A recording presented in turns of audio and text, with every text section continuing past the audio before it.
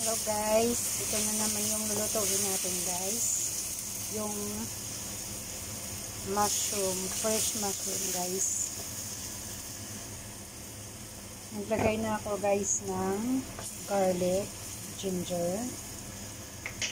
So, nalagay ko na yung mushroom. Ayan guys. Ayan na, pinahinaan ko muna yung oil. Ayan guys. Yung mushroom na to guys, binlanish ko siya guys. Kaya luto na to. Kaya ito yung sauce na ilalagay ko guys. Yung sauce na ilalagay ko. Diyan. Yung chili sauce guys.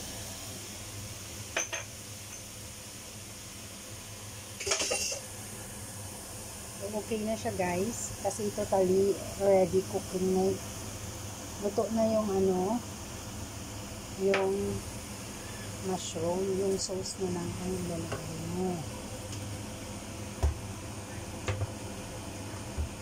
Nalagyan ko siya guys ng konting tubig para konting sabaw-sabaw yan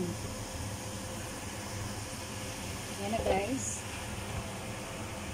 Maglagay tayo ng nor powder.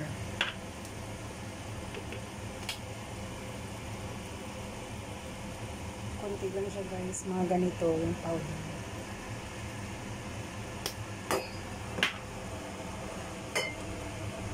So, naglagay ako ng salt konting salt lang guys. Yan. Tapos, haluin lang natin ng haluin guys. Yan.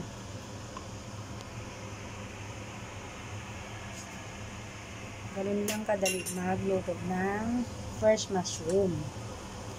Alam mo guys, kung bakit yung fresh mushroom binablanch ko kasi para mawala yung amoy niya. Tikman na natin guys. Oh my gosh. Perfect. Ang lasa. Perfect na perfect ang lasa guys.